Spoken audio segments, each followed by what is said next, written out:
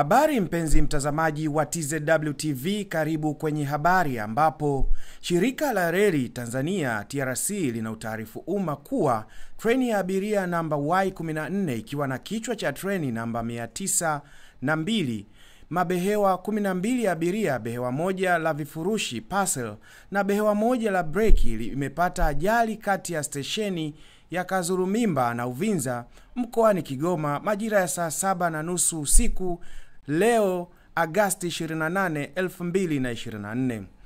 Ajali hiyo imetokea baada ya mabehewa sita ya treni kuacha njia na kupelekea majeruhi sabini, wanawake 26 na wanaume 44.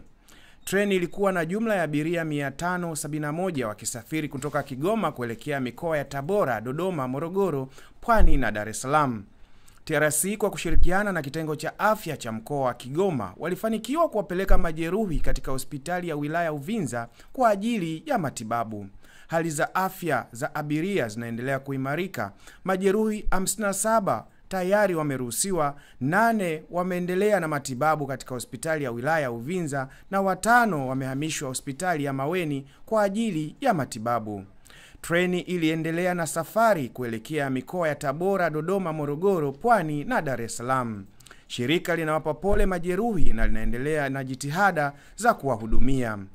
Hakuna taarifa ya vifo vilivyotokana na ajali hiyo. Taarifa zaidi zitaendelea kutolewa. Taarifa hiyo imetolewa na mkuu wa kitengo cha uhusiano Jamila Mbaruku. Hii ni TZW TV. Endelea kusubscribe chaneli yetu ya Tanzania Web TV ili uwe wa kwanza kupata matukio mengi yanayotokea. Mimi ni Eric Everest.